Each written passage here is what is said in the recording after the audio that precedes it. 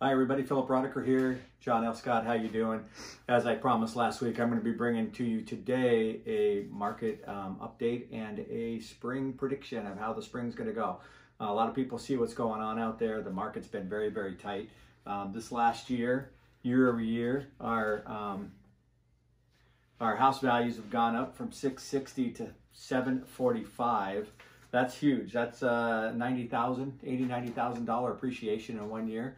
That's huge. Um, the other thing that we saw is foreclosures in our area are down 82%. 82%. So people right now are doing um, what are called forbearances. Forbearances right now. Uh, currently, what we have in the uh, delinquency uh, in the um, area right now, the national delinquency is running at about seven to eight percent of the mortgages. It doesn't sound like a lot, um, but that equates to almost four million houses right now that are in what we call forbearance. Um, uh, currently, the forbearance market is at um, current numbers right now are at 367, which is very high. Last time we had this um, forbearance issue going on back in 2000, looks like eight, nine, they were at 4.8, uh, so 4.8 back there, and we're at now at 3.7, 3.57. So the thing to say is that we're very close to where we were last time the market crashed um, when that happened. Okay. Um, the other thing too is that our our um, our, uh, our, our, foreclosures right now are down 85%. Um, so that's a decline from um, uh, 2019 to 2020. Um, the other other statistic that's kind of putting some pressure on us right now is the uh, uh, delinquency rate following any kind of a natural disaster. And this one, I just want to show to you guys. I don't know if you can see that graph right there. I'll bring it up so you can just see it a little bit right there. Okay, what we're looking at in that is this top line. There's a top line that's going straight right here. There's some bottom line down here. This one's going straight over here, if you can see that one. Um, what we're talking about here is the delinquency rate after any kind of natural disaster, and we're talking about Hurricane Harvey, we're talking about Hurricane Irma, we're talking about COVID-19. These are like natural disasters. Right now, the delinquency rate is 300% higher than when we had those other natural events going on. Um, same thing with uh, the, the uh, forecast for the future is that they're going to continue to stay there. What the government did this last week, we had we had the, the forbearance on mortgages until December, then they moved it to March. And now the government said that if anybody has applied for a forbearance on their property up to February 28th, they have the ability to extend that for six months needed and an additional six months after that. So forbearance right now could be all the way into February of 2022. So we're going to have this tight market for a while um, without the without the natural uh, you know replenishing of the inventory, especially in the first time homebuyer uh, area. And foreclosures, unfortunately, are part of that. Um, it's going to be difficult to try to get that bottom end uh, backfilled. And then uh, when you start looking at um, how how um, buyers move in the marketplace, you have your first time buyer, your second time buyer, then you have your third time buyer, which is your which is your retirement buyer. Second time buyer is the one that stays the longest, 20 years in their house. That's where they raise their family. First time is the stepping stone to get there. If the if the foreclosure market slows down, it slows down those first time home buyers. The other thing that's slowing down is the new construction new construction slowing down because of the permit process and the available land. There's just not a lot of it. And we need that uh, new inventory coming into the marketplace. COVID's created it, all different kinds of stuff. County departments are, are moving slower. And so they're just not getting it out fast enough. And without replenishing the market with that new construction, those second time home buyers, first time home buyers into second time, they have nowhere to go. So it kind of like just I guess it just logger jams and we can't get anything forward and it makes it difficult for, for people to know uh, where to go. And so it puts pressure on there.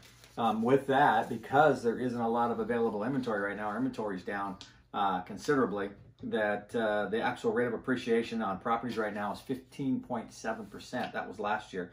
Last time it went up this high was 2006, went up 16%. Uh, uh, in 2006. So we're at the highest rate of appreciation since the last boom that we had in uh, 2006.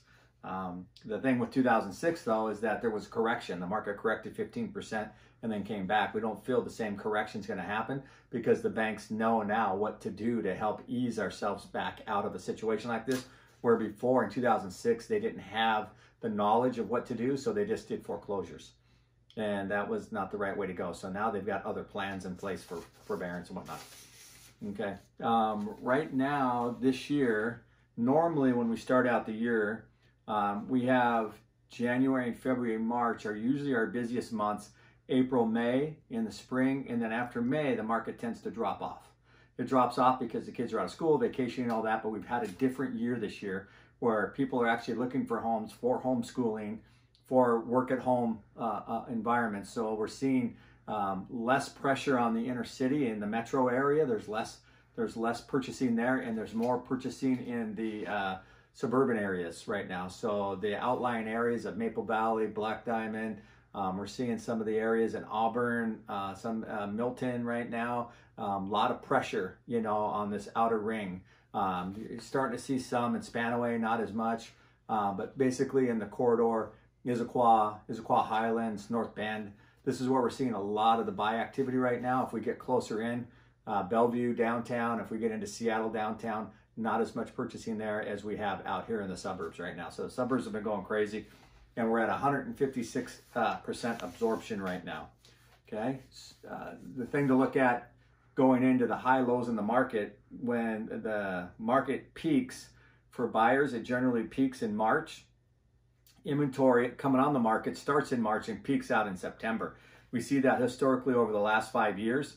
This year, the buyers are peaking out here in March, but we're not bringing any inventory on. So we feel that we're going to continue to run that high until we either free up the new construction or we have some way to backfill the new uh, the first time home buyer market.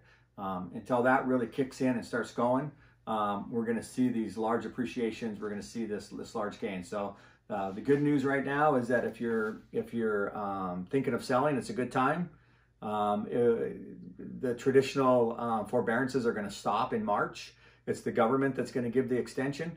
Um, so if you're thinking of selling right now, it's a good time to get the best appreciation.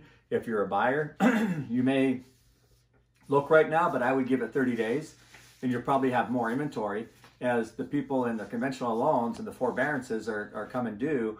We're going to see more conventional buyers probably selling out of their properties and that's going to open up the market for that uh, spring market. So that's what we're seeing right now. Um, uh, right now, the average uh, percentage of new listings pending in the first 30 days, 91% of the market went pending. So it's just saying that there's a huge demand right now for the properties.